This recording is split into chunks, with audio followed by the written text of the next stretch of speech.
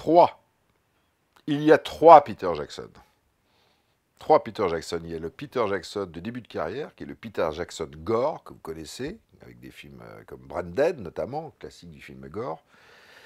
Il y a le le, Peter Jackson numéro 3, donc là c'était le 1, il y a le Peter Jackson numéro 3 qui est le Peter Jackson de Blockbuster, celui qui fait euh, le Hobbit et compagnie, hein, tous, ces, tous ces films méga productions.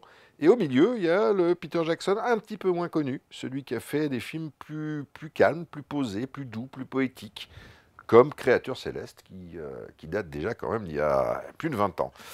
Et Créature Céleste euh, est un film presque atypique, hein, finalement, même avec le recul, dans la carrière de Peter Jackson, puisque ça raconte, c'est tiré en d'un fait divers qui, est, réellement eu lieu en, Nouvelle-Zélande, me semble-t-il.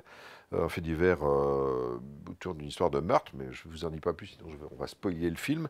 Mais en tout cas, c'est un prétexte pour Peter Jackson pour relater la, la relation euh, très proche, limite un peu saphique, un peu saphique, hein, entre deux jeunes demoiselles dont l'une est interprétée par Kent Winslet, qui a été révélé avec ce film. Et voilà, et donc le, film parle beaucoup de, en fait, de, comment dire, de d'hystérie sexuelle. Enfin, la, façon dont la sexualité est abordée dans une, société un peu collémontée, euh, qui était la société de la Nouvelle-Zélande des années 50 en fait. Donc il y a tout un, côté poétique, onirique.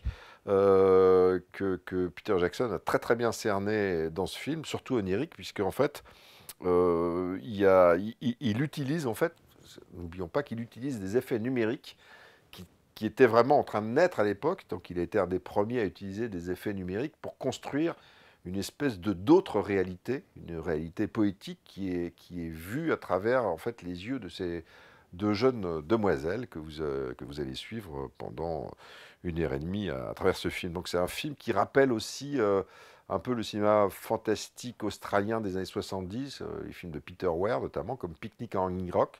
Le film est très proche en fait de Picnic en Hanging Rock aussi. Et voilà, c'est un film totalement atypique dans la carrière de Peter Jackson, que le grand public connaît plus pour avoir réalisé Le Hobbit. Et c'est un film que je vous conseille vivement mais vivement d'aller voir à Hallucination Collective cette année, dans la ville de Bruxelles Non, non, non. Garches-Marna-Coquette Non, non, non. La Selle-Saint-Cloud Non, non, non.